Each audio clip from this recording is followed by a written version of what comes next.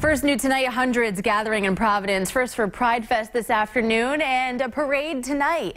This year, the events all under the close watch of police officers after shots were fired into a crowd last weekend at PVD Fest. Eyewitness News reporter Eric Halperin joins us live in the capital city tonight with how city leaders are making sure everyone stays safe. Eric.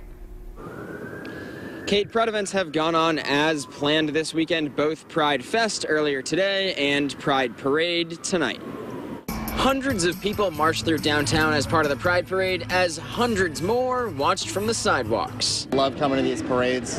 Um, it's just, it's so inviting, it's so accepting, um, and it's just a lot of fun. Jeremy Newt is part of Riders Motorcycle Club with Tom Gregg. They came down from Massachusetts for the Pride Parade. People just getting to go out to, to all this stuff and just celebrate who they are with, without any inhibitions. A week ago to the night at PVD Fest, police say someone fired several gunshots into the air.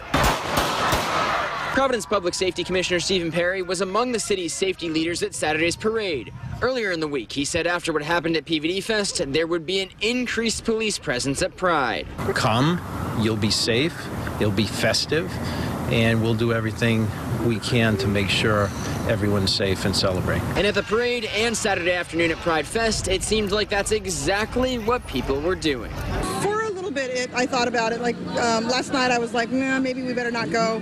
But then I decided, you know what? I, we're we're gonna go. We're gonna have a good time.